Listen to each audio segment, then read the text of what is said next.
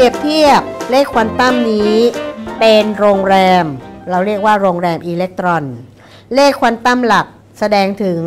จำนวนชั้นของโรงแรม แต่ละชั้นก็จะมีห้องพัก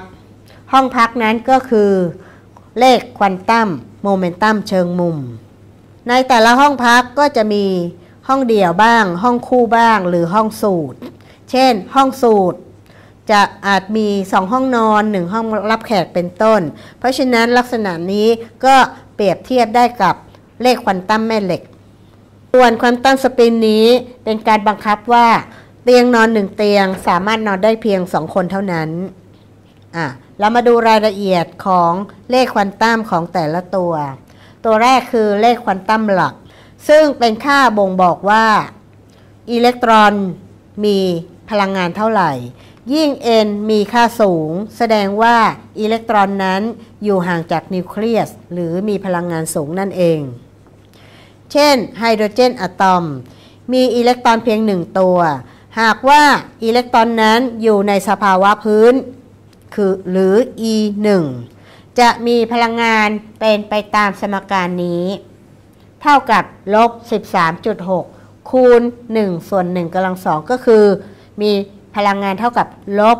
13.6 อิเล็กตรอนโวลต์นั่นเอง ที่เลขควอนตัมอื่นเราก็สามารถคำนวณหาพลังงานของอิเล็กตรอนได้ เช่น ถ้าเราต้องการดูว่า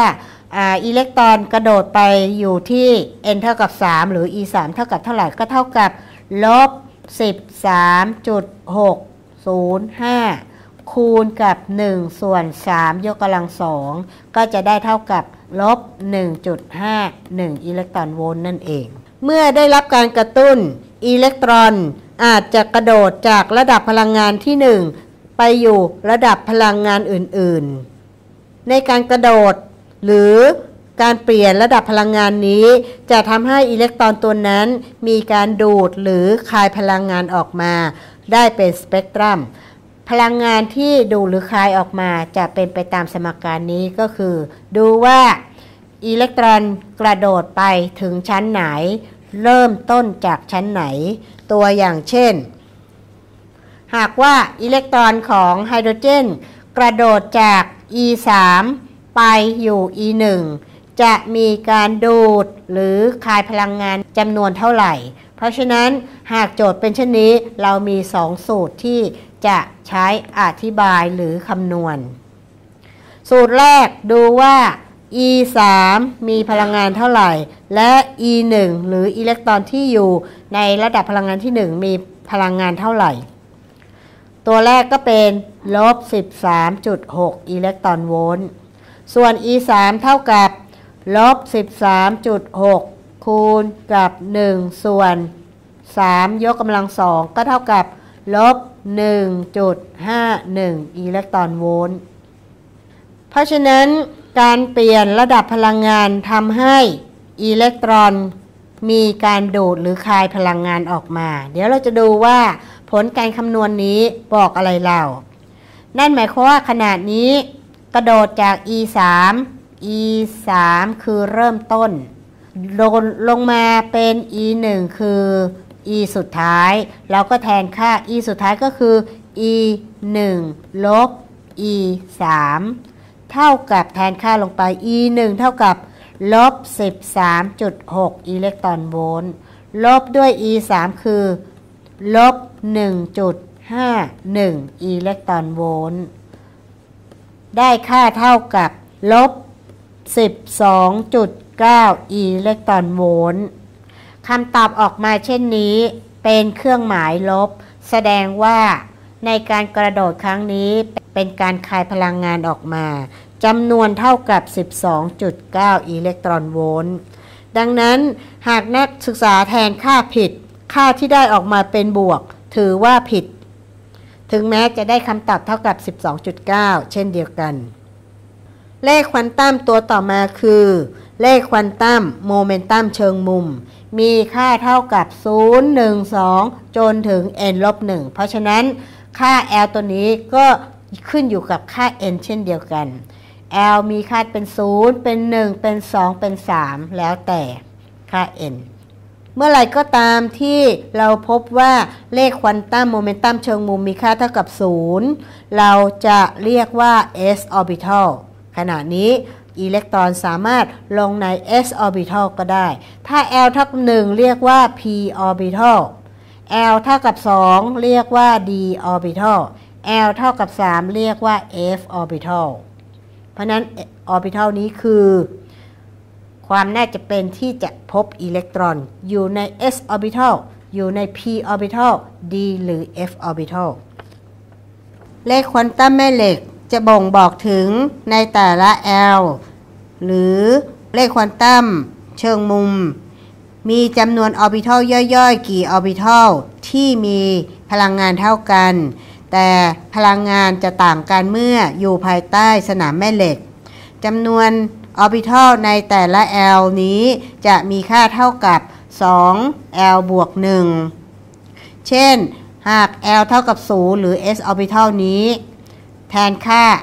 L เท่ากับ 0 จะได้